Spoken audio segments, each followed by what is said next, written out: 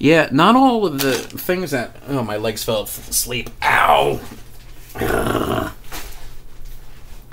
Not all of the things that have happened to me with women and the paranormal have been uh, with people I've actually slept with. Uh, there was a lady, and she. We both very much wanted to have sex with each other. That's what I'm saying.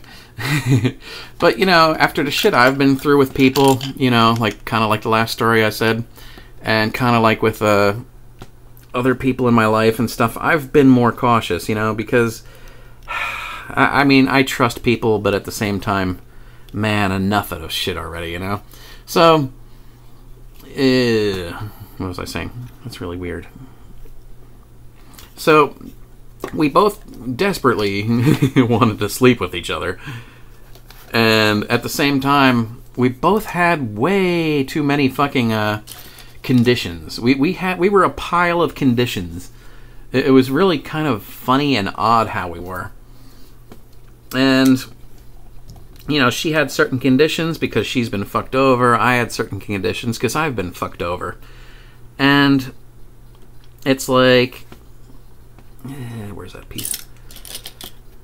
And this went back and forth for quite a long time. Uh, pretty much, she would drive me home on like Wednesday mornings and shit, and we would sit in the parking lot here, and she she wouldn't come up to my place, but we would talk just about life, talk about each other, about our experiences and stuff, and uh, you know, it, it's like the whole time we're just trying to get cool with the other person, you know, just so we're like chill, and I mean, this went on a few weeks actually, and it got to a point where it's like, you know, it it was like I kind of thought it would happen, honestly. I, I, thought we just needed this one thing or something to come to agreement on, and everything would be fine, and we'd be banging our, our brains out and shit. But it's like, uh, you know, there was this one time she drove me home, and, you know, we did the same thing. We talked. But this time, she seemed more, not desperate, she seemed more worried, I guess and she was telling me a lot more stuff and she was making promises you know very nice little promises to me you know. I'm not going to go into detail. Just she was opening up and i, I really liked it you know. And i and it, i took notice of it. I'm like huh I, I go maybe she is actually you know serious enough to have me agree to some of her conditions here you know. And no i'm not going to go into conditions because you know that's more personal you know. But god this is definitely a bootleg because these are scratched all the fuck but uh, you know, I took notice that she was being more open than I had seen her, and I'm like, okay, she's probably taking this more seriously now. Maybe I should, you know, advance, you know, and maybe even agree to some things. And she then, like a day later or so, maybe a day or two later, we're there at work, and she goes, she goes, come over here a second. I'm like, okay and she goes, and, and she she she touches me and she goes, hug me. I'm like I'm like right here. And she's like, yeah. I'm, I'm like, no problem there, you know. So I'm there hugging her. Anyone can walk by. Anyone can see this. Anyone can you know start you know assuming that we're a thing, you know. And I'm like I'm like cool, you know, nice hug. And I, I say to her, I go I go, we should probably do this a lot more often, don't you think? and you know, it was everything was cool. So my weekend comes, and I'm sitting there thinking about the events of, you know, that week, and I'm like, hmm. I'm like, you know what? I, okay, I trust her. I, am going to advance. Uh, I'll, I'll agree. What I did was, I had thought up what I found to be a very, very clever compromise by which she would agree and I would agree. And I burst out laughing at this. I'm like, hot damn, I finally figured out the solution to this problem we've been having. And you know what? I can't even remember it now. I can't even remember what I thought up. And the reason for that is because something happened immediately after. I mean, immediately after. As soon as I felt happy, as soon as I felt happy because I had solved the problem, of of why she was, you know, the way she was, and why I wa- uh, was the way I was, and what we needed to get by so we could be having fun, and you know, I get any younger. uh, all of a sudden, I was hit with a wave. I was hit with a wave of sadness and what is that word? Sadness and it, it was just like a, an emotion telling me to slam on the brakes for a second. And I got pissed off because I thought that emotion was mine. I was like, what kind of fucking personal sabotage is my mind doing to me where I am happy and must instantly feel sad immediately afterwards? What the fuck is wrong with my brain? Why would I do that to myself? And as I say that, something happened.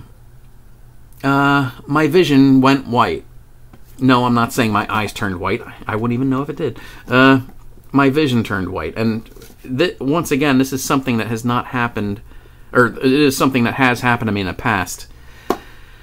Uh, what I saw was the it. I, all I saw was white, and then it kind of bled over into being able to see again. Only I wasn't seeing what I was seeing. I was seeing what somebody else was seeing. And it was first person, like as if you're playing the game Doom or something like that. You know, I'm not seeing my own body. I'm seeing physically through someone else's eyes.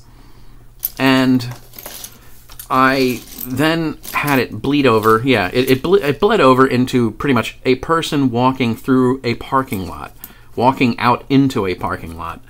And I'm like, why the fuck am I seeing this? you know, I knew it wasn't me because, like I said, this has happened to me before. I I know that when I see through other people's eyes that it's not mine, you know, it's white followed by whatever they're doing. So I'm, I, as soon as I, it seems like whenever this happens, when I ask questions, I get answers. It's almost like I'm being given things piecemeal until I am clever enough to ask the question. I, I, I go, why am I seeing this? And I get the emotion of guilt. And then I'm like, I'm like, okay, a person's guilty. That's great. And I'm like, why? And then I get a feeling of me, like as if someone were thinking about me.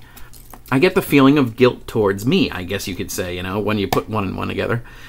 And it's like, I'm like, I'm like, okay. And I keep watching just for a minute before I ask another question. You know, and all I see literally is just somebody walking out into a parking lot, not yet arriving wherever they're going. And then finally, it just ends. Or, or no, no, no, no, it doesn't just end. I, I go, okay, why am I seeing this? Who who is this that I'm seeing this? Like, whose is this?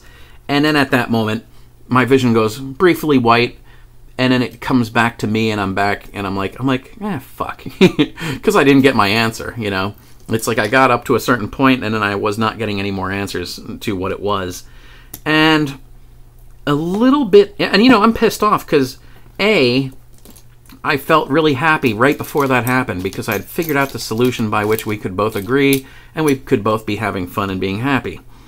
And I was also pissed off because I wasn't told who it was. And, you know, it just sucked. It, just sucked. And as often happens with when I have my vision go white like that and I can see through other people's eyes, what happens is I am answered in real life as to what the fuck it was all about. So a few uh, minutes later, somebody contacts me, and they're like, "Hey, uh, I thought you and her were going to be doing stuff and stuff. I thought you you and her were, were like going to be a thing or something." I'm like, "Going to be? Damn right we will." You know, because I still had the uh, idea in my head. You know how to get it. You know how to make this happen. You know. And they're like, "Yeah, no, don't, uh, just, just don't." I'm like, "I'm like, what are you talking about?" I'm like, "Why the fuck not?" And they're like, "Well, I mean, there's things that you probably don't know about, so you know, just don't bother with her." You know, I'm, I'm like, "What?" I'm like, "How can you say that?" I go, I go, "We'll probably be banging within the end of the week," you know.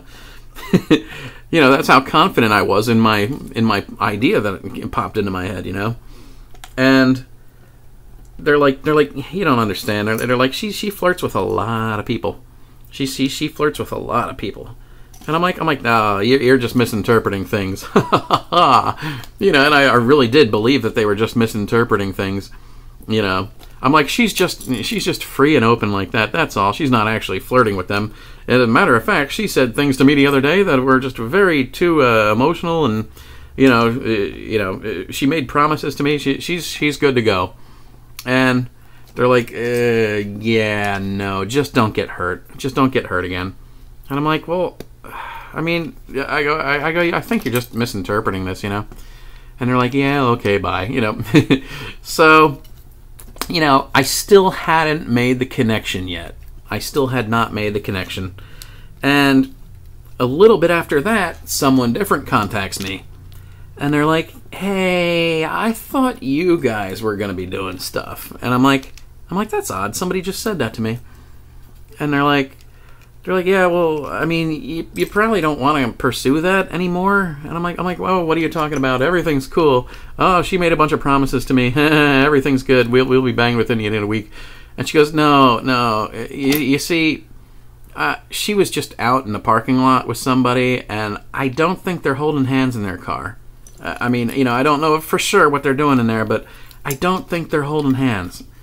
And I'm like, ah, you're just misinterpreting things. And even as I'm saying that, my mind is now understanding what I saw. And you know, I still, you know, I close I closed the conversation with them with like, ah, you're just misinterpreting it. But, you know, the second they disconnected, I was like, oh fuck. That is what I saw.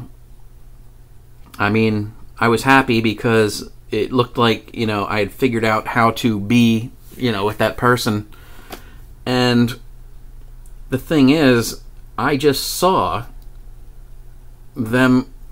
I mean, the, I had a feeling of me and I had a feeling of guilt. A, they had guilt towards me. B, they were walking out into a parking lot. I mean, it's exactly what this person has just told me. And I'm like, ah, fuck, it's all true. and you know, I want to demonize this person, or I did want to demonize this person, you know? It's like, geez, how could you say something so, you know, uh, definitive to a person, you know, saying you want to be with them and shit, and at the same time you're you're running around messing with other people and stuff. And, you know, so what happens, you know, I go back to work and you know, that person's there and she's like, "Oh yeah, this, you know, she's talking to people. She's like, "Yeah, this weekend I did this and did that and woo!" you know. And um I didn't react. And I think they caught that I didn't react because you know they came to me more than once or twice uh, saying, "Did I make you mad? Uh, what happened?" You know, or, or no, they're, like, they're like, "Are you mad at me for something?" You know, it's like they don't have the balls to say, "Are you mad at me because I kind of fucked you over a little bit there?" But uh, you know, it, I give them the benefit of the doubt on uh, their emotions there. But uh, it's like, you know, I had no idea they were messing around, or you know, tr- I had no idea that they were hitting on so many people other than me but at the same time, it did seem like there was a good bit of affection there too. And the thing is, I want to be mad at them. I wanted to be mad at them, but I mean, this person does have their own little set of uh, supernatural type things going on too. So what what really happened here? And once again, like with the last thing I talked about in the previous video, it's not me rationalizing something that went south it's me telling you exactly what happened. I mean, in the best of my ability. I can only assume that a part of her, her subconscious, was talking to my subconscious. I mean, like I said with my friend when uh, he needed a hair tie on his way to work, he realized he needed a hair tie, and my subconscious was already in a conversation with his, I guess, talking about how I needed to pick up an extra hair tie, you know, the little smartass. And it's like, I think this was the same kind of deal. I, I think a subconscious part of her came to me, told me, uh, look, I'm sorry, this is what I'm doing here. Don't be mad, you know, but this is what I'm doing. And it showed me what she was doing, which was walking out into the parking lot with this person, you know, or, uh, you know, towards this other person. And you know, like I said, it kind of sucks to be me, right? Because I would like to be mad and bitter about this, I, you know, but at the same time, I was given an interesting uh, event to make a dumb video about.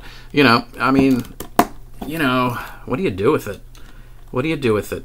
Who knows? Maybe that was the whole point of me seeing that was to not be angry and bitter about it, to not be shocked and cause a scene at work when you know it was revealed that that was going on. Who knows? I don't. I don't know. But I mean, the fact is, it happened. I mean, shit. You know, they did something that probably wasn't the nicest thing to do, but a part of them came to me and apologized in a sort. You know, I don't know. It's like, how do you get mad at somebody when you know what their inner thinking was? You know, when you know that they're inside, they were actually kind of not easy doing what they did. You know, it's like they might have not said it out in, here in the physical world, but something came to me and said, "I'm sorry." You know, I mean, how can you be mad at them? You know. I mean, for one thing, like I said, they are showing you an, an interesting part of this world we live in, in the supernatural aspect of it. So there's that anyway, you know. eh, this shit happens. Let me see here. One, two, three, four, five. And not to sound like a cook or anything, but uh, I am happy that she's found happiness and stuff because you know that's awesome. You know, everybody should find happiness. One, two, three, four, five. I think that's supposed to be one over. Yeah, I think yeah. You know, it just is. It is what it is. I felt burnt, but at the same time, I understood.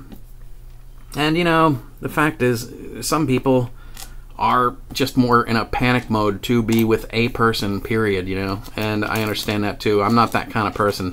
I'm a little bit more picky and you know I've turned down crazy before. I mean, I've had a few people that a wanted to be with me, b wanted to sleep with me, and some of them were even really damn cute, but they were crazy. So I shot that shit down. I had to, but uh, you know, it just is what it is sometimes. At least I got a cool story out of it, though, right?